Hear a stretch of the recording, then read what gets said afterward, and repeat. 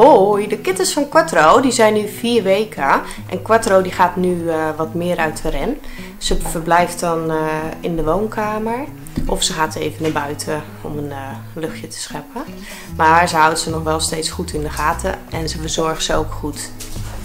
ik heb er nu een kattenbakje ingezet. Dan kunnen ze daar ook vast aan wennen. Ze zien het dan van de moeder en dan worden ze nieuwsgierig.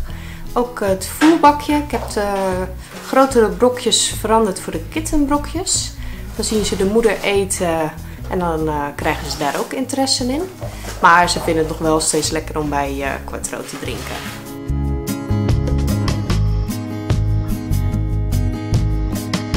De kittens van Quattro die zijn nu vier weken oud en ze gaan nu echt een beetje de ren verkennen. Ze worden echt uh, nieuwsgierig en zelfs ook al wat brutaal naar de camera.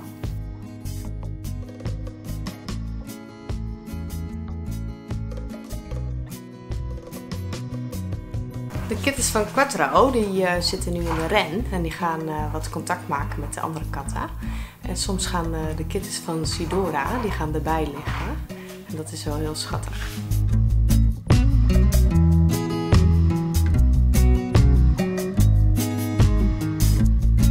Het hok van Quattro heb ik verplaatst naar de andere kant.